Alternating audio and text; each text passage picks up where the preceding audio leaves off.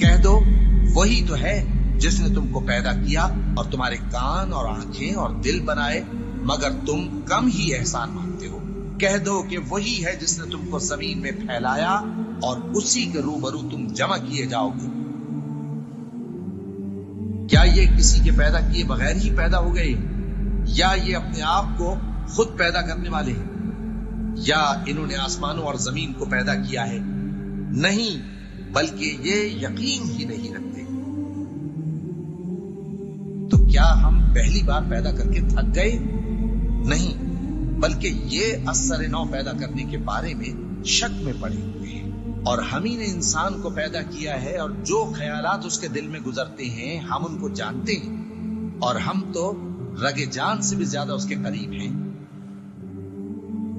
और काफिर इंसान कहता है कि जब मैं मर जाऊँगा तो क्या ज़िंदा करके निकाला जाऊँगा? क्या ऐसा इंसान याद नहीं करता कि हमने उसको पहले भी तो पैदा किया था, जबकि वो कुछ भी चीज़ न था जो तुम्हारे परवरदिगार की कसम हम इनको जमा करेंगे और शैतानों को भी। फिर इन सबको जहन्नम के गिर्द हाजिर करेंगे और वो घुटनों पर गिरे हुए होंगे। वही ज़िंदा को मुर्दे से निकालता है और वही मुर्दे को ज़िंदा से निकालता है। और वही ज़मीन को उसके मरने के बाद ज़िंदा करता है और इसी तरह तुम दोबारा ज़मीन में से निकाले जाओगे। और उसी की निशानियों में से है कि उसने तुम्हें मिट्टी से पैदा किया। फिर अब तुम इंसान होकर जा बजा फैल रहे हो।